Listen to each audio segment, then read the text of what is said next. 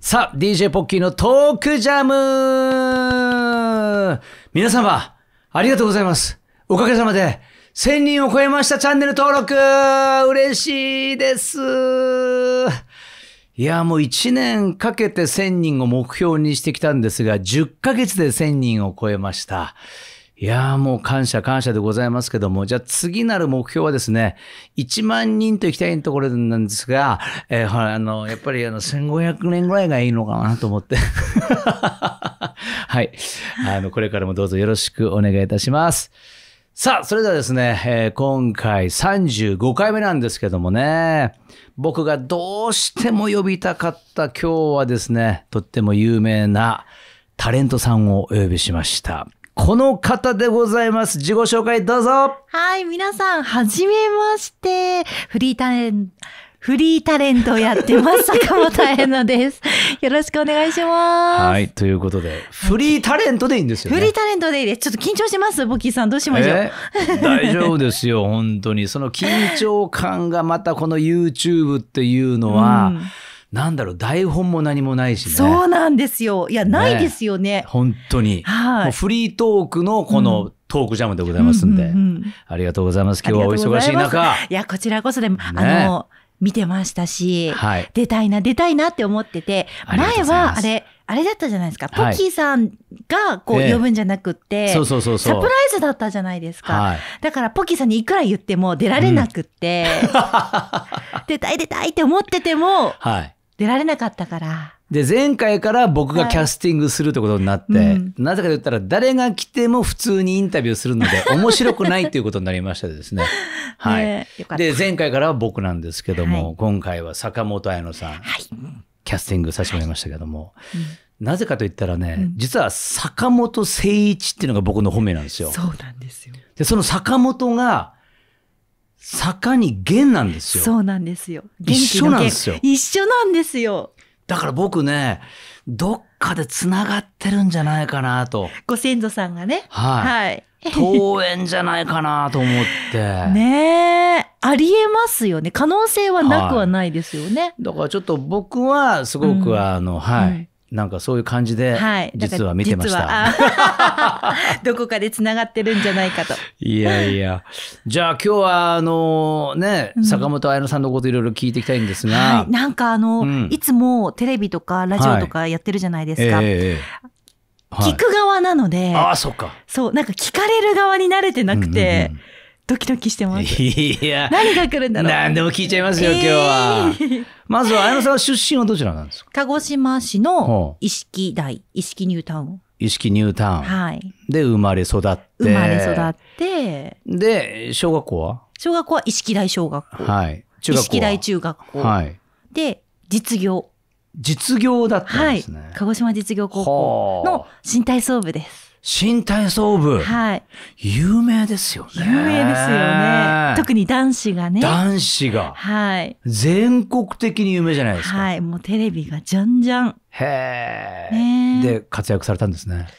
女子の方でね。そりゃそうですよ。そうですか。はい。で、なんかこう、オリンピック選手になろうとか、なんかそういう目標なかったんですか、その当時は。ああ、もう、やりきりましたね。やりきった。もう高校で、私は。っていうのも先生が、あの、うんそれこそ、純真卒へで、ー。はい。当初、純真ってもう金メダル連発としてて、日日本一ずーっともう何十年取ってたんですよ。だから金メダリストの先生なんですね。はい教えてくださってた方が。すごい。で、だから金メダリストの練習方法をそのまま私たちにやってたので。だから12月31日も元日も練習してましたし、うわーで、果実ってスポーツ校じゃないですか。はい。の中でもサッカー部の先生とかが新体操部の女子がこの学校の中で一番練習してるって言われるぐらい。野球とかサッカーとかラグビーとか有名なのに私たちが一番練習してるって先生が言うぐらいもう鬼でした。だからもうやりきってもういいですと。もうここまででいい。ーなるほど。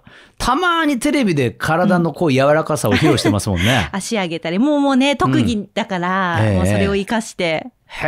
たまにやりますねで、大学は？大学は、あの、よ、子供が好きだったので、え鹿児島国際大学はい。の児童学科に行って、ええ。幼稚園の先生になろうと思ってたんですよ。あ、そうだったんですか？はいえ、なったことは？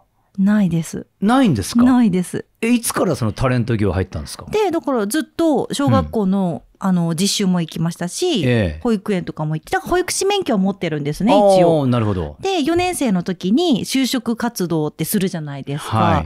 で、幼稚園の先生って遅いんですよ。あの、4年生の1月、2月、3月ぐらいでうん試験を受けるんですね。はで、結構みんな前倒しで企業とかって受けるじゃないですか、あ。一般企業って。ええ。えええだからなんか焦りがあってえ、はい。一般企業も先に受けてたんですね、私。あ、そうだったんですか？いろんなところ企業を受けて、ええ。そのうちの一個に KTS のタレントがあって、ああ、そう。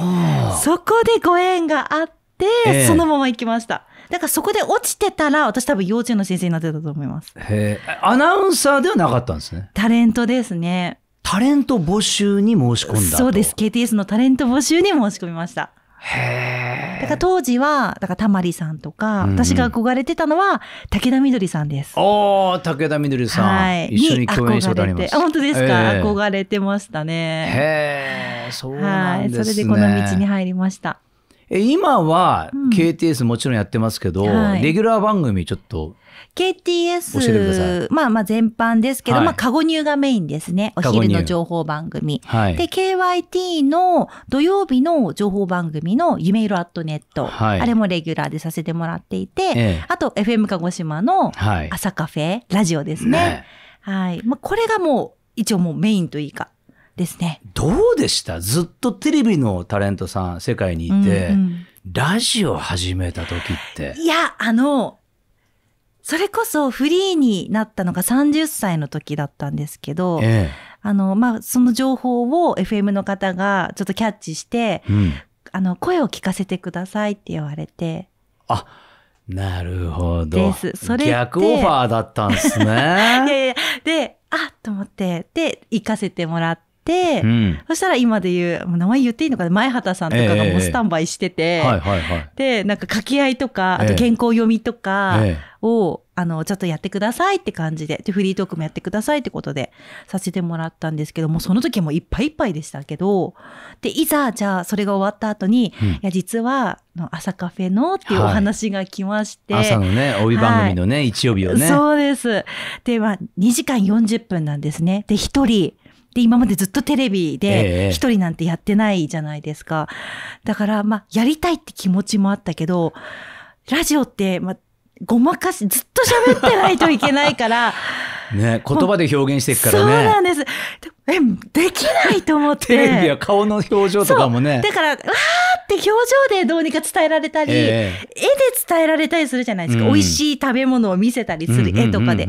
でもラジオってもう声だけだから、しかも一人でいきなり2時間40分っていうのは、うんえせめて夕方の2人とかがいいなって ちょっと内心思ってたんですけど、一人だから不安多かったんもうすですね。ごく多かったです。へでもまあ、せっかくね、こうやって声かけてくださったし、うんまあいいチャンスだから、もうやるだけやってみたいですって、もうやらせてくださいってことで、はい。見事にこなされてますよい。やいやいやいやもう癒されますよ綾野さんの番組はいやいやいやいやね。ねまた月曜日の朝っていうことでね。ねえみんながスイッチが本入りづらいところだから、いや素晴らしいです。どうしようかなってね。ポギさんも月曜日だけど。そうですね。僕月火ですね。ですよね鹿児島はね。うんでもそうのんフリーのタレントになったうんというの、その前はじゃあ専属だったんですか？そうです。もうずっと KTS 専属で、もう他局とかはもう NG 逆に。KTS だけでやってくださいっていう契約だったんですけど、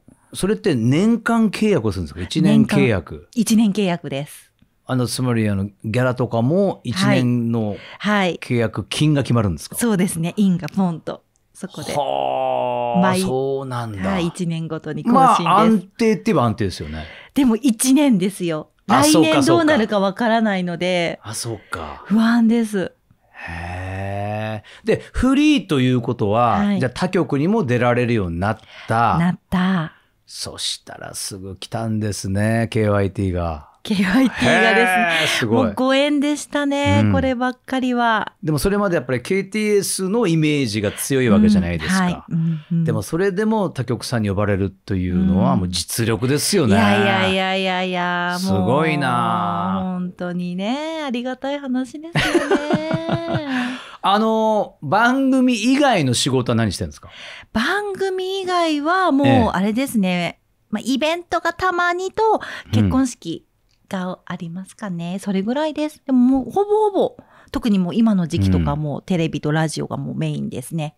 だってあのリポーターとか結構ね、うん。行かなきゃいけないですもんね。そうです。もうほぼ毎日ロケに行ってますね。いろんなところに。ねはい行ってます大変でしょあの取材とか。大変ですね。ねまあでもいろんなところに行けるのがまあ魅力ではありますけど、行けるし出会いもあるけども、何のレポートがいいですか？ええ。食べ物ですか？食ですか？あのー私、この、やっぱ美味しそうに食べるってええええええ。言われるんですよ。はい。すごくありがたいんですけど、ええ。でも結構太りやすくって、で、テレビのロケって、あ1日でええ。3店舗ぐらい行くんですね。あ3店舗もあるんですか？あります。で、1店舗で1品とは限らないじゃないですか。ええええええ1店舗で例えばフルコース出てくるところもありますし、うんで、それがかけるの3、はい、朝、昼、昼？はあとかあったりする。それがもう続いた時のコンディションが大変で、うわお腹も空いてないとやっぱり出ちゃうものがあるじゃないですか。はいはいはい。なんかもうその辺の調整とかが、ね、食べられるのは嬉しいんですけど、え大変ですね。わでロケっていうのはその生放送じゃない時もあるので、うん。また撮り直しとかね。そうですね。あった時はまた倍食べなきゃいけないからそうですね。そうです。はい。で、ご好意で出してくださるお店もあるので、うんうんうんうんとなるともう、机にも、こんな机にもどっさりとかも 全然あるんですよ。残しちゃいけないもんねそうですよねそうか楽しいけどもそういう苦労もあるというありますね。裏ではね。あと、結構、はいその県外とかはい。のうんいろんな施設にうん。ね、うん。呼ばれてはい。取材して、はいちょっとどこどこスイートルーム泊まってきましたとか、ああ、まあ、たまにですね。たまに。ありますね。ねうんそれ楽しいですね。まあ楽しいですね、あれもね。ううんん。そうなんだ。はい。うわねーですよ。趣味って何なんですか？趣味、ねなんか仕事以外には私はこれやってる。まあ僕はゴルフなんですけど。ああ、うんでもそれこそ私も今は息抜きゴルフですかね。あの、打ちっぱですけど、打ちっぱ、うんラウンドしないんですか？ラウンドしてないです。なんで？あの、もう本当にスコアがひどすぎて、打ちっぱなしでストレス発散してます。綾野さん、ゴルフはラウンドしないとスコア上がらないですよ。打ちっぱなしばっかりはあれマットの上打ってますからね。はい。必ず当たりますよ。そうですよね。いや、本当に、なんか迷惑かけちゃうなって思ったら、ええなんかいけなくって。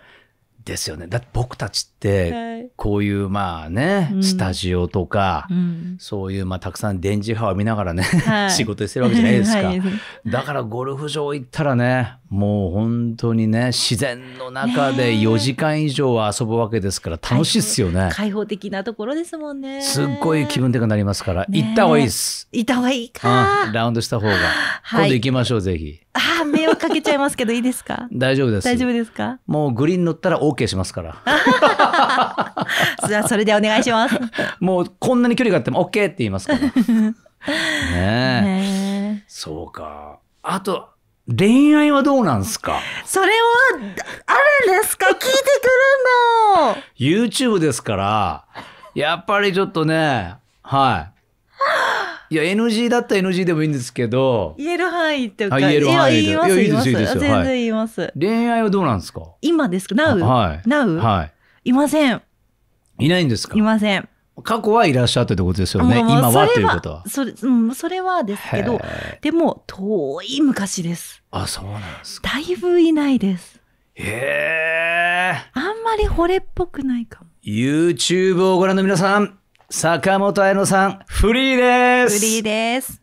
募集中？募集中、絶賛募集中。募集中です。全力で募集中です。全力で。はい。さあ、それではどういう男性のタイプがいいのかという。あ聞きたいですねえ、それは何ですか？中身ですか？見た目？両方行きましょうか。はい。まずは見た目は、見た目は、どちらかというと、ほスッとされてる方が。うスッと、はい。前、ポッキーさんにも言ったと思うんですけど、ポッキーさんもスッとね、されてらっしゃいますけどありがとうございます。スッと、シュッとされてるシュッ方が。と。はい。例えば、その、わかりやすく芸能人とかいます？あ、うん好きな芸能人、ええ坂口健太郎くんが好きです。坂口健太郎さん。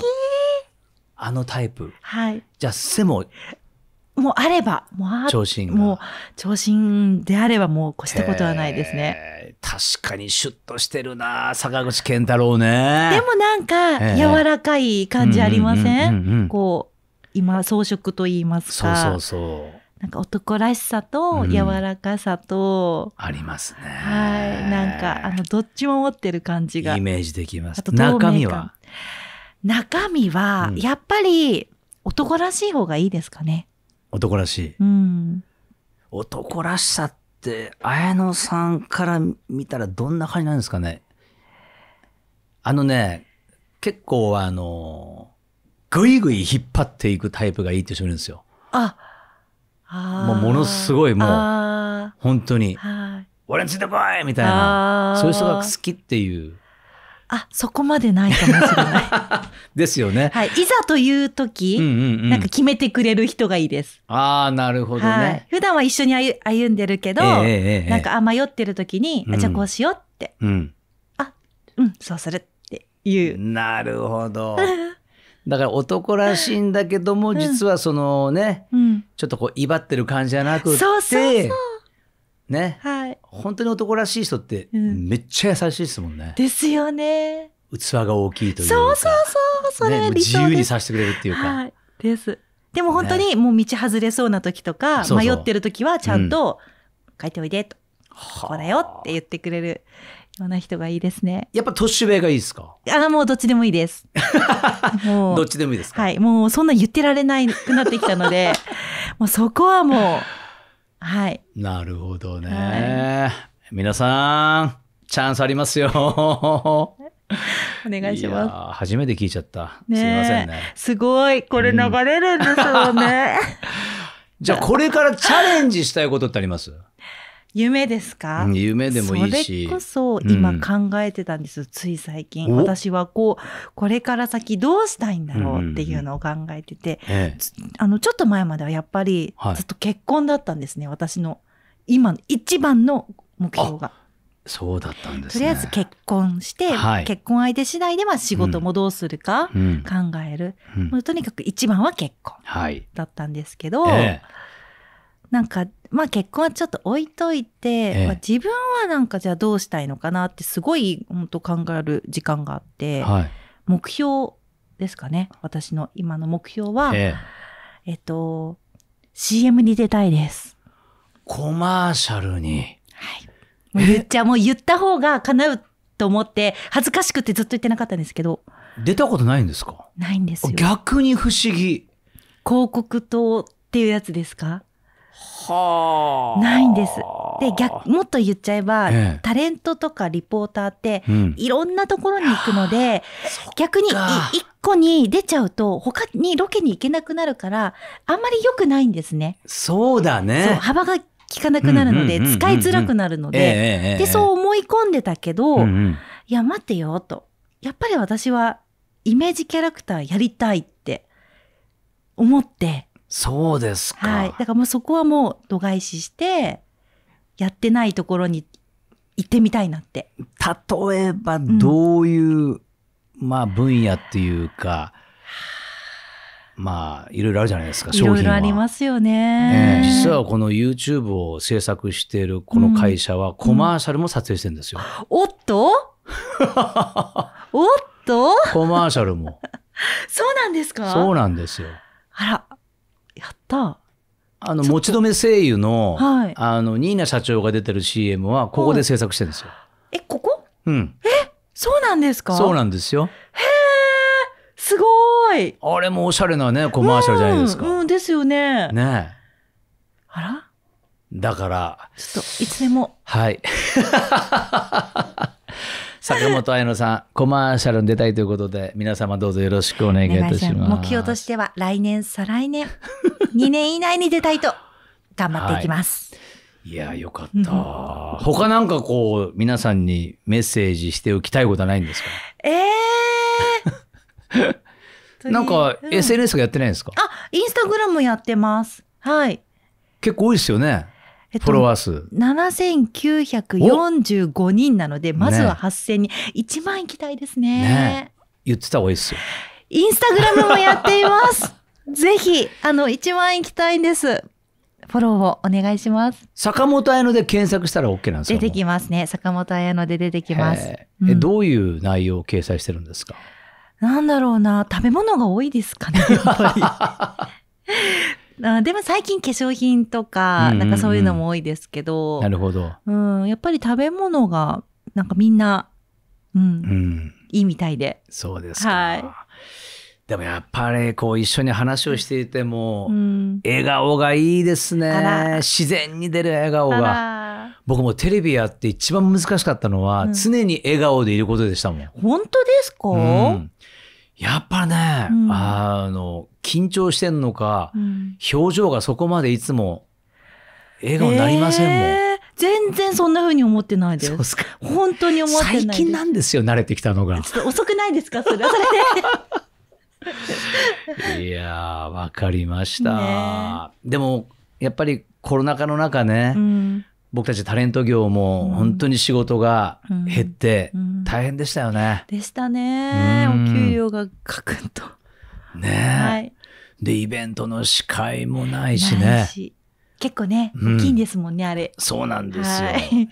だからあのタレント業ってみんなからいいねって言われるんですけども、いや、この2年はねう、ん。まだ全然イベントの話も来てませんもん。うん、ですよね。私もイベントは来てないですね。ね。だからそういう意味ではね、うん、タレント業、よろしくお願いします、お皆さん願い。します。絶賛募集中です、お仕事の方も。ということで。いや、なんか言い残しかないですか？大丈夫ですか？ええはい。また呼んでください。楽しかった。もう終わりなの？っていう感じ。うわー嬉しい。でも今日はね、もう本当にあの、2回目なんですけど、僕のキャスティングで。はいもういつも、うん。やっぱ月曜日で番組をね、はい。されてるということで、うんタイミング合うからね、お会いできるし。FM でね、会いますもんね。じゃあ、あの、これからもタレント業はもちろんなんですが、コマーシャルが決まる。はい。はい。はい。そして、坂口健太郎さんみたいな素敵な男性に出会う。ね。それを僕は祈ってますよ。はい。はい。じゃあ、もし最後にメッセージがあればお願いします。はい。えっ、と、私の恋人候補になってくださる方がいれば、はい、ぜひお待ちしております。あと、大手の企業さんもコマーシャルの方をぜひよろしくお願いします。はい。ということで、えーこの番組に出演されるといろんなアプローチできますんで、いや、本当にこんな最後の PR したことないですよ、私も。はい。はい、えー今日はですね35回目のゲストでございましたもう本当大人気のタレントさんです坂本彩乃さんでした、はいどうもありがとうございましたはい、ありがとうございました。